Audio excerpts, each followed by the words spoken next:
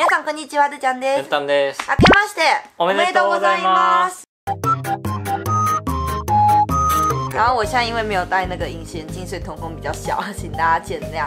はい、ではもう2019年なので日本の文化である年賀状を皆様に抽選で送りたいと思います。えっと今年は嵐の年賀状を買いました。おそうその郵便局に行って申し込んでそしてその後家まで郵送してくれるんですよ。それでなんか嵐が平成最後の1年の年賀状を担当しております。おこんな感じで郵送してくれます。ー、バック。そう開けてみたいと思います。一セットしか買ってなくてでこんな感じですね。ここでなんか平成31年嵐の年賀状で書いております。思った以上よりなんかしっかりしてるって感じ、うん、なんかね、もともと1枚1枚1枚入ってると思ってでもなんか本になってるって感じだよね。ね、見やすい。あこうで開けるんだ。ね。最初はこちらですね。なんか大野くん。うん。大野くんはこんな感じです。何食べてるんですかね。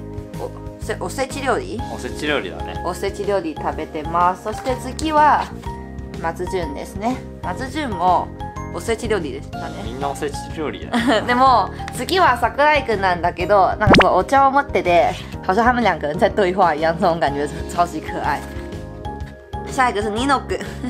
ニノかわい。いこんな感じです。はい最後は相葉くんですね。2枚。こんな感じですね。あ、じゃあ7枚だ。そう全部7枚です。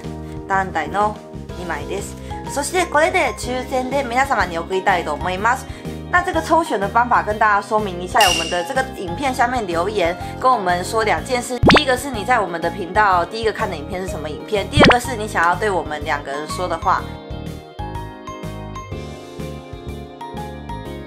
那二月一号的时候，我会抽出七位人选，然后寄这些贺年卡给大家，请大家踊跃留言哦。何日まで期限は さっき言いました。あの2月1日。2月1日までのコメントからルーちゃんが選んで、で、そこからなんか書いて送るってこと？そうでさっき言った。うん。そしてね、実はまたなんかその1月1日の時になんか日本の郵便局なんか送ってきたんですよ。